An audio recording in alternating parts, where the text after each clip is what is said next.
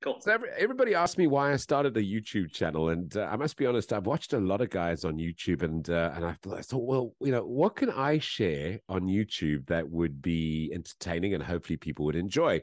So said to me, well, look, you travel a lot, so do that. And I thought, well, you know, there's a lot of guys that are doing travel videos. Um, so I decided the best thing for me to do is yes, I'll share some of my travel stuff, and yes, I'll share some of the races that I go to and some of the cool places that I go to.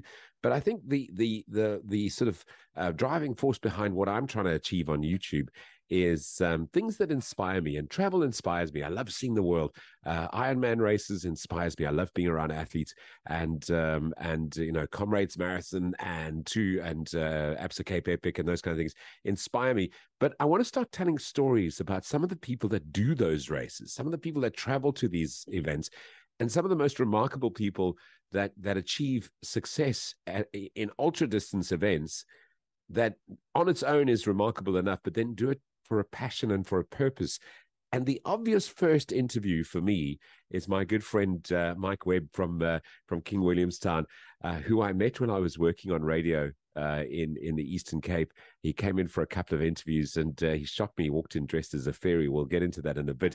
But joining us on screen, all the way from uh, the great, the thriving metropolis of King Williamstown, Michael Webb. Hello, yay! Hey, Goody.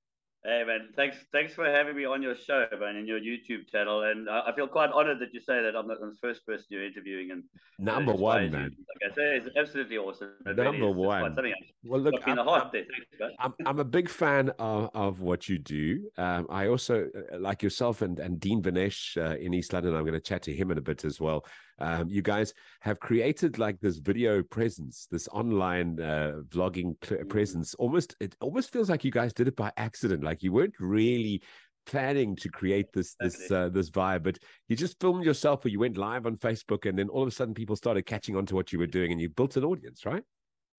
No, totally. It, it, it's actually, as you said, completely by mistake, and a lot of what our stuff has been completely by mistake, and and. Uh, it's actually funny that you say that completely by mistake because even even my running was almost by mistake because I literally went out to go and have a run to get fit for when my son was going to be born. Wow! And three months later, I'm going, well, hello, this is quite fun. Uh, yeah. Uh, let's see how far we can go.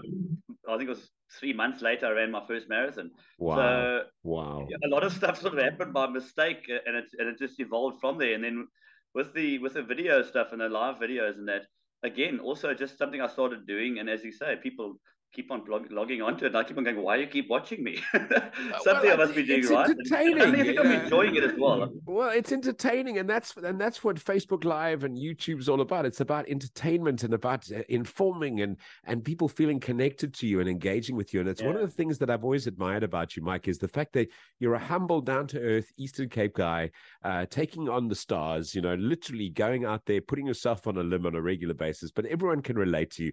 So, with that in mind, let's just start start with who is Michael Webb and and and and where were you born? Where did you go to school? And what did you do? Did you were you a naughty oak at school or were you a good oak at school? yeah, okay. So I, I, I, was actually born in Durbs, where you are at the moment. But I mean, we were we grew up on a farm outside King Williamstown, yeah, um, until I was about ten years old, and then we moved into town. Um, I'm a, avid Dale College person. I went to Dale from sub A to matric, and I managed to get my son to go there from sub A to matric as well. And I'm a staunch, staunch old Dalian. Um, I watch all the rugby matches still. I love my school. Yeah. Uh, was I naughty in school? Yeah, definitely. I'm I, not I think surprised. the fact that I can ride on a bicycle, uh, ride on a bicycle without shocks for as long as I can, best testament to the fact that my backside did. um, but yeah, it, uh, yeah, it, it's it's a lovely town. I, I love my town. I, I, actually love King Williamstown, and it's it, it's it's a funny little town. You know, it's changed a lot over the years. Um, but but the heart of King Williamstown has changed. It really has. The demographics have changed a lot, but the heart has stayed the same. And I think this is why I love my town so much. It's right. And, and, and, a lot of people that I meet, Mike, who come from King Williamstown, no matter where they are around the world, they always still refer to them as as from themselves as from King Williamstown. You know, they they're passionate about their city. Yeah. King King Arts are incredible. You know, I, I, what I found as well when I started doing my fundraising stuff as well was uh, the amount of King Arts that has supported me and continue supporting me from, yeah. from far. I got yeah. a friend, John Battaglia, was in school with me. He's in the States and he never stops supporting me. Every every time I put something out, John's there, you know. Um, I've got John Mackay in, in, in the UK, who I, I, I converse with a lot. Um, my friend Lou in Italy. There's so many people that, that are from King, and they've all they all they've ended up all over the country, and we've actually linked up again, which is really nice. It's a nice thing about the social media these days. Uh, yeah. it took me a long time to get onto Facebook. I must be honest. Uh, when it first came out, I was like, "What is this rubbish?" Uh, but once I got going, I actually realized you know, how much you can actually link up with the old friends. Right. That's when I really got into it. And that, that, I think has been the best thing for me. And you built an about, audience uh, as well. And, and and one of the discussions you and I have, have been chatting about is you you inadvertently again, almost by accident, built a brand, the Pink Fairy. We'll get into that in a mm. second. Mm. So you say that you you started running uh, to because you wanted to be fit and healthy when your when your boy arrived. Um, and then you did a couple of runs and you thought, man, actually I can I can do this. And you are one of the most natural, naturally talented runners that I've ever been around. And and and as you say, like a like a couple of months later, you did your first marathon. Um, you're the only oak I know that can run comrades and film yourself and put stuff on social media at the same time, which is not a lot of people can do that. Uh, yeah, nat- naturally fit. I don't know so much about the naturally fit and natural runner um, thing. Um, you know, it's like Gary Player once said, you know, the more you practice, the, the, the luckier, luckier, you get. get yeah. And I think it's very much the more you train, the more you look like you actually are quite natural. Uh, I actually do train quite hard, and I always have. Um, but I, I, must be honest. Yes, I, have got the, I've got it in the genes for running. My dad, he ran quite a lot, um, and it definitely is in the genes. Uh, I, I was quite good at cross country at school, very much yeah. without doing any training as well. Yeah. So it's definitely in the genes. So it, it came through for me, and it's something I really love doing as well. It's, maybe very much a passion. You spoke about passion; it's very much a passion for me. Maybe it's something about the Eastern Cape border as well, because if you look at, you say your dad ran as well. If I look at Mark Morrell, who's uh, one of the pastors who, of a church in Gonubie, his dad was a runner as well. And then you look at Desmond Becker, who's run Washie so many mm. times. His dad was also a big runner, so it seems to be hereditary. Well, yeah. Yeah, it seems to be hereditary if you're from the Eastern Cape. And I think Des Becker is definitely someone that we need to have on the channel. Um, okay, so running the comrades, your first one, you you took it on as a personal challenge, right? You didn't have any charity or anything involved. You were like, I'm just going to go no. No, no, that was way back in 19, 99, I think it was. Was my first one, and yes, very much as a as a as a personal challenge. Uh, and it was very much i am doing this once. Like everybody says, I'm doing one this once. I'm never going to do and done. Again. Yeah, yeah, yeah, one and done. And, and we didn't have the Bill Rowan medal at that stage, in fact. And uh, I actually did a 901, which absolutely wow. blew my mind because I wasn't right. expecting. I was going for a finish. You know, 11 hours. Yeah. Those days was 11 hour finish. 11 so, hours, yeah. But, I've, I've actually still got a video somewhere of my feet. I actually recorded what my feet looked like afterwards because they were so swollen and so horrendous. I actually took a video and said, "This is why you're never doing this race again." and we made a, a, a fatal error of finishing the race and driving all the way back to Bethlehem. Oy. I sat in the car three hours back to Bethlehem. Oy. I got out the other side. I actually seized solid. I actually right. had to be helped inside by my sister-in-law. Right. It was quite hectic.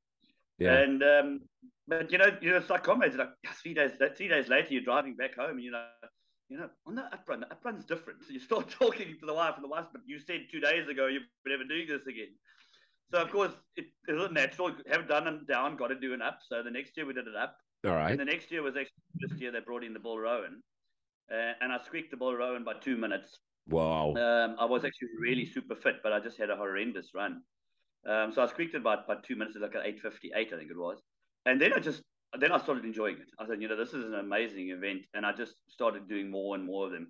And uh, I, I, carried on with uh, not just doing road running as well. Uh, I do a lot of a lot of um, mountain uh, mountain running, trail running. Yeah, yeah. I've always done it. It's something I'm really passionate about as well. I do a lot of adventure racing. So I sort of built the, built it all in, and always sort of worked. My second half of the year was mountain biking, trail running, adventure racing, and the first half was comrades, focus, focus, focus, and it, that hasn't changed. I must be totally honest. Uh, that that's still that's comrades, still the way you that's still the way you manage the two the two. Still the way I manage things. Yeah, I've put a lot of other events in with the Ironman and things like that. Right, right. It's still very much the way I manage it and the way I enjoy doing it. Yeah, so right. I just carried on doing it. Right. Um, okay. Down. So how many comrades have you done, Mike? That's 22 now. I did my 22nd now. Yeah. 22. Yeah, that's all in a row. I haven't missed one. Obviously, we don't count uh, COVID and that. No, um, no, no, it doesn't count. Uh, so it's 22 in a row. I want to try and do the 30 in a row. That's my aim. That's what I'm going to go for. Wow. And wow. then we'll see after that. And at, and at what point did, did, did it transition from a personal challenge to hang on? I want to use this platform that I've got to raise some money for for a local charity. And why did you choose the SPCA?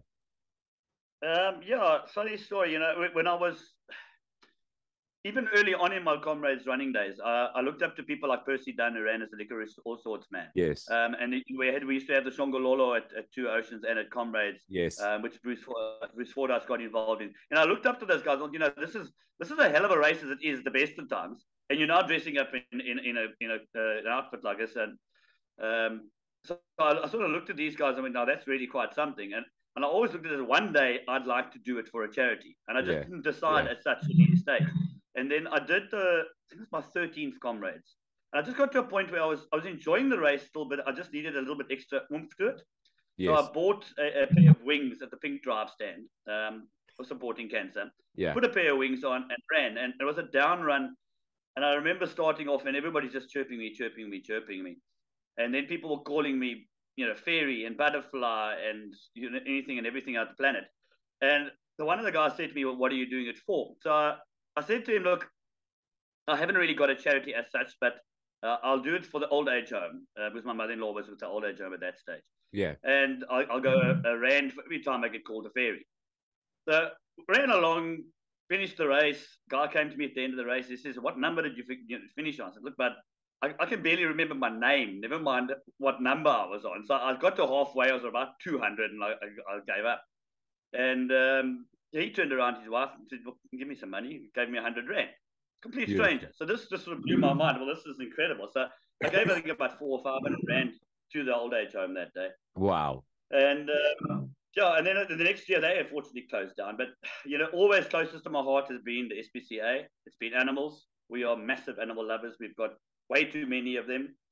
And uh, so the next year I approached Annette and I said, look, uh, I'd like to do fundraising for you guys, and I'm going to do comrades again, and I'll try and do it as a rand per kilometer right. fundraising drive. Right. And that's when I got into the Facebook thing big time. And I started um, just putting I just put it out there. So guys, I'm doing comrades, this is what I'm gonna do. Ran the kilometer, let's see what happens. And right. bang, we we raised thirty thousand. Wow. Know? And I, I just absolutely wow. blew my mind that I could raise so, so from six hundred bucks from 600 bucks to 30,000. 30, 30, wow. Exactly. Wow. It, it, it, absolutely just blew me away. And I looked at this and well, this is really something quite incredible. And I was enjoying myself. And I ran, I still ran in my club colors. I ran with the, with the wings on. I had a little tutu made. Um, I think that year was an up run. And somewhere along the route, there was somebody that had a pair of bunny ears. And I begged it off him, literally begged it off the spectator. And the guy gave them to me. They got added to the costume. They got sewn onto a cap for next year. And then a cape came onto it. And yeah. it just developed year yeah. upon year. And eventually I went, you know what? That's it. Let's go balls to the wall. Let's go pink. Right. So everything went pink, and yes. uh, it's just developed every year, and and it's been it's been amazing. It's it's it's been a real journey of, of discovery for myself. Um, what I can do uh, for others. It's been a journey um, that I've thoroughly enjoyed, and it's become an absolute passion. And what, what I've found has been really incredible is, is how the community bought into it. Because yes. every year that I've done the fundraising, I've tried to make it slightly different. Yes. And, and I would, I think one year we did puzzle pieces, big puzzle pieces like this. I remember that. Yeah. I remember that it was a big puzzle we did. Um, I've done T-shirts. I've done buffs.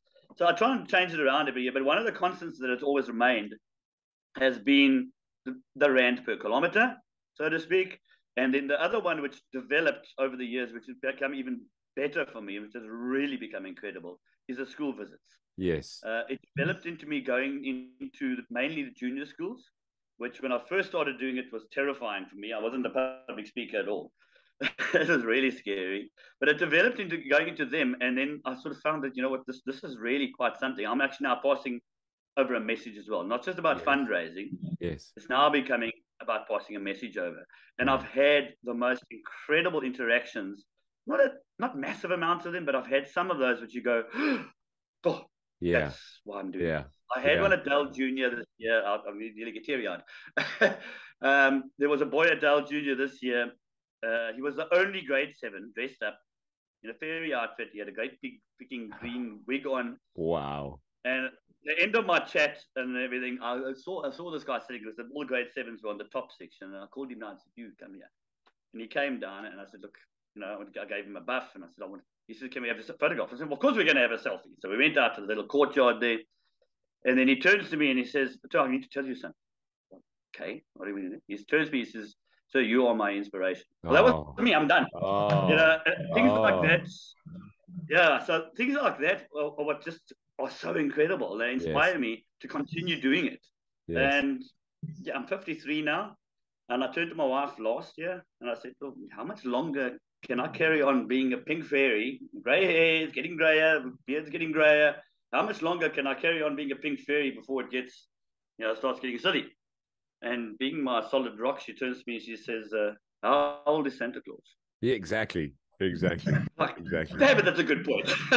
Yeah, for so, sure, yeah, so for sure. Santa Claus, fairy I tell you what, if if you haven't followed Mike yet, uh, I, am going to put I'm going to put your your uh, your social media um, uh, addresses in in the link to this video when we put it up on YouTube. But if you haven't, please make sure Thank you you. follow Mike because yeah, and go specifically and watch the videos of Mike at the schools because it really is so great. The interaction with the kids. Firstly, they find a grown man dressed as a fairy hilarious, and that breaks that ice. And then and then you bring the message of, of of what you're doing and how you're trying to make a difference for Annette and for the SPCA and and helping them. And, all of a sudden, that selfishness that that most of us are are, are, are we develop in our in our youth, it, it kind of changes and they're going, oh wait, I could do something for somebody else, and I can do something for for for another living creature that can't speak for themselves. And it's a beautiful message. So please, uh, once you're done watching this video, click on those links and please go and follow Mike and uh, and uh, also watch very carefully because he does a lot of other events as well. Um, what's the biggest amount of money that you've uh, that you've raised uh, running comrades, Mike? Uh, I think in one year we did a 90,000. Wow. Um, but it was it was actually it was it was more like uh, it was more like forty thousand, but then there was a fifty thousand which came in from from ex King out or Roland Roy. Hello. Um, yeah, you know Rolly, um, incredible golfer. Um, Yeah. He was at that stage working for Southern Suns, and they had a golf day, and he was looking for a charity to send it to. So he saw what I was doing, and went, "Bang! Thank you very much. There's fifty grand for you guys." Beautiful. So that was that was the biggest. Um, but we actually worked it out the other day, and I was actually astounded that even this year alone, we close. We're actually sitting on over a hundred thousand for this year uh, already for charities. Fantastic. Uh, Fantastic. that's not counting dog food, cat food, and all that that we raise up uh, as with our events and that. And over the last, I think it's about eight years, we're over a million rand, wow. which has gone to animal welfare. Um, wow. yeah, I've, I've never done the non-profit organization thing. Uh, I honestly don't have the time for the um, the admin. It's Right. just I've, I've Right. out how to do it. It's not it's not, it's not Well, something I'm because- very good at. And because you're a working person. I mean, I mean, this is not your full time job. I mean, you work you work uh, for the Toyota Group, if I'm not mistaken, and Exactly, uh, yes, and yeah. they uh, uh, and how have they supported you? Do they give you time off to train? Do they give you time off to go and do all the crazy things that you do?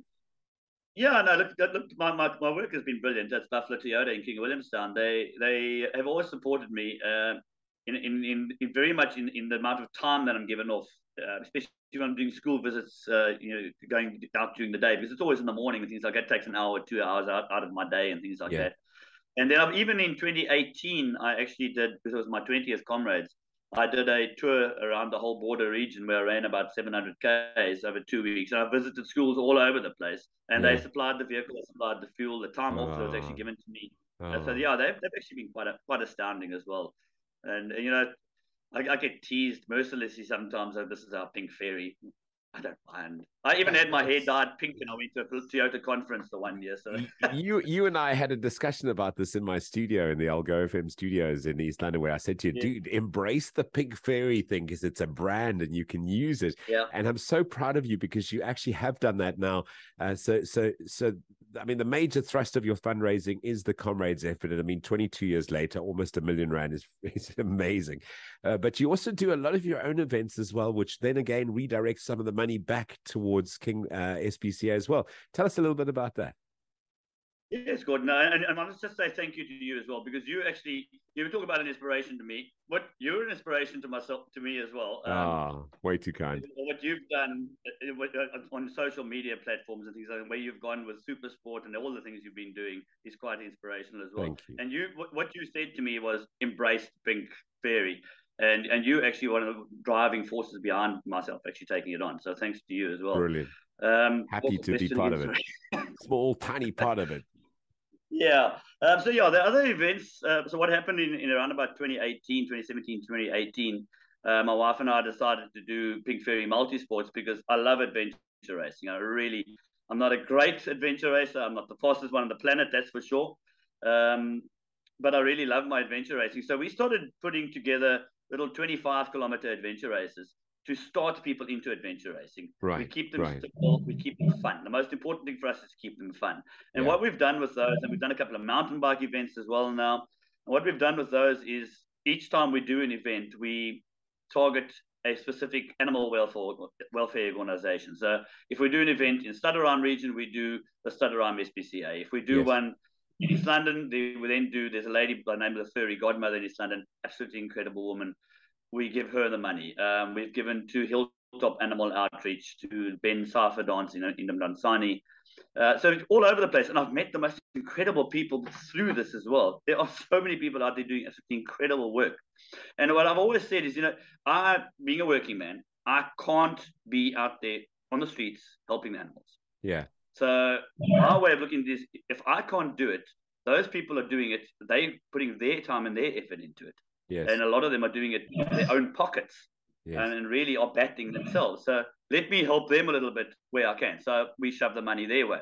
So each event is not about what we're going to make out. We actually we basically cover our costs most of the time. So literally all we're trying to do though is say, right, guys, we've targeted 10 grand for that person. Bang, right. there we go. Right. And they've worked beautifully. And we've got a lovely following of people that, that do all our events. And it's just all about fun. It's not about who comes first or second. Yes, they compete. Yes, we have lovely prizes, but it's about fun. And that's all it has been. And we, we've continued doing it and we're loving it. Huh? It's, it's a journey and it's just never going to stop. We've got another one coming up now uh, at Areena River, Riverside Resorts on the 5th of November. Cool place. Which is going to be much years.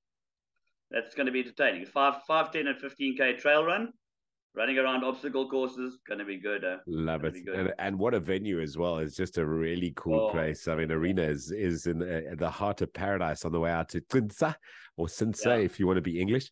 It really is a cool place to be. Uh, Mike, well, you know, as, as, you're chatting and as you're speaking, it just, it, it, I've been in, in Durban for almost seven years now, but I, man, I miss some of the Eastern Cape because there are so many great yeah. people doing so many great things. You know, you talk about mountain biking, you talk about Rob Hartzenberg and, and the work that he does mm-hmm. out there as well. Um, so I, I, the list of people that I'm going to talk to from from the Eastern Cape is because I'm talking to you. You're talking, and I'm, and I'm going. Geez, we need to talk to that person as well. So thanks, yeah. thanks very much for for connecting the dots. Um, uh, and yeah. again, if you haven't followed Mike on socials, you are missing out because not only are you going to get uh, uh, the opportunity to contribute to something that is so important, and and Annette and the team at uh, King SPCA are amazing. In fact, they're so amazing that my cat uh, it comes from King Williamstown SPCA. So my little cat that lives in Durban is is a King uh, SPCA cat, uh, and, and, they do such great work. But you're also you, you're going to find out about that. You, but you're also going to get to follow some of the crazy stuff that Michael Webb does, and, and he does some weird stuff. He does it so well though that every time there's a comrades race, the cameramen are looking out for you because I don't think there's been a year when I've watched comrades that I haven't seen you on TV, dude. You get more TV time than most celebrities get. It's ridiculous. And then of course all the other events as well. Mike, uh, you know, if there was a first interview for the YouTube channel, I'm so glad it was you because you really are doing such amazing things. And and I don't care what your age is or how gray your hair is. You just keep going because because the animals need it, but uh, but people need it as well. You know, you're connecting people uh, who who, as you say, you don't have the time to go and do it. A lot of them don't have either, so they're going. Well, I need to contribute somehow, and you're that that connection between them needing to help and the people yeah. that and the animals that need the help. So so well done, my buddy. Well done. Um, uh, uh closing well, thoughts. Uh, you know, you haven't just done comrades. You've done Ironman races. You've done seventy point threes. You've done so much, so many different things. Uh, just a closing thought from you. If you want to leave people with a message and and, and how they can get involved, just uh, go for it. This is the the stage is yours. Okay, thanks, Gordon. Yeah, um, you know, the people people seem to think that um, getting involved, it, it, as you said, means going out and doing it themselves. Very much, you don't have to be going out to do it yourself. If you can find somebody that is doing a, a good cause and you yeah. can support that person, doesn't matter in which way you can do it, by all means, please go out and do that. If it yeah. means coming through myself, my pink fairy out, uh, you know, uh, what do you want to call them, um, shenanigans, then by all means do it that way. But there are so many amazing people out there doing so much amazing stuff. And for me, animal welfare is always going to be the tops. Um, right Right. So if you want to do anything for animals, guys, please follow my channels. Go on the go on the links. Do what you need to do in order to, to help us to raise money for the animal welfare. Yes. Um, there are so many incredible animal welfares. And if you ever need, ooh, hell of a storm. if you ever need to, um, yeah, you get hold of me for any reason. Just go into links and I'll I'll get hold of you. It's it's, it's been an incredible. We've, we've had uh, we've been really, really blessed. Uh, even in fact, this year we even got um, thirty thousand rand from a, a, Durban agency uh, from UPL. Uh, Yay! Well done, Durbs. One of my, she saw one of my videos at one of the schools, and she just loved it so much. She shared it with the board of directors. They right. gave us thirty grand. I did a talk up there just before comrades. Beautiful. So it's spreading. It's going Beautiful. nationwide, and this is what I've always wanted to happen. Yeah. So spread the word, spread the love. Um, that's all I can really say. Just follow Mike. Guys. Follow Mike on social networks. Follow his shenanigans as he as he calls them because they really are. I mean, Mike will post a picture on a Friday afternoon of himself on a mountain bike in the middle of freaking nowhere. so just well, follow I, Mike. One, one thing I've I have figured out with, with my followers is they really enjoy seeing me in pain. and dressed so as a fairy. Myself, because uh, one thing I've always have found with, with, every event I've done is the harder it gets, the more I start enjoying myself, the bigger my smile gets. Right. Maybe right. that's why people enjoy For watching sure. me in pain. For sure. And, you know, in, in the comrades this year, I am not lying, and it happens every single year. One of the biggest the, the sections of pain on my body is actually my jaw muscle from smiling because I actually just don't stop smiling for. 90 Ks. That's beautiful. it's, it's That's great. beautiful. And I actually like next day I'm actually quite sore. so yeah, I, love, I love, it. I love it. Oh, that is such a that is such a microwave thing. Hey, that is such a microwave thing. Listen, you're an absolute inspiration. Thank you so much for being part of the show. And uh, we will, as we said, we'll put the links to Mike's social networks in the in the description of the video as well. Uh, please go and give him a follow. And next time he does something crazy, just give him, even if you give him 10 bucks, whatever, just like five rand, 10 rand, whatever it is, just throw some money Mike's way. I can guarantee it's going to go to people that really need it and to animals that really need the help as well. Mike Webb, all the way in King Williamstown. Good luck with the storm. And uh, thank you for taking the Thanks, time.